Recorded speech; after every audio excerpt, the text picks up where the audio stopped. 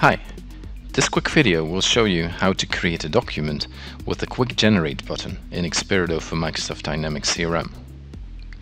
First off, you open the XperiDo template selection screen via the XperiDo command in the CRM command bar.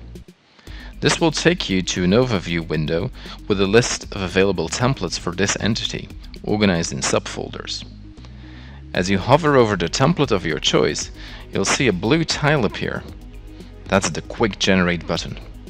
If you click that button, a document will be generated using the selected template. But there's more to this little button. Not only will it create the document, all of the template's preset save and delivery settings will be carried out as well.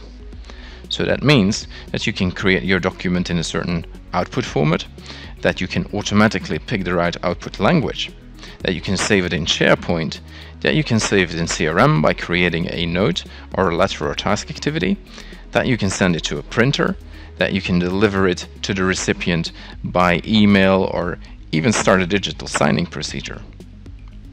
After you click the button, you can view the generated document, a quote in this case. So that's how you create a document with the Quick Generate button in XperiDo for Microsoft Dynamics CRM.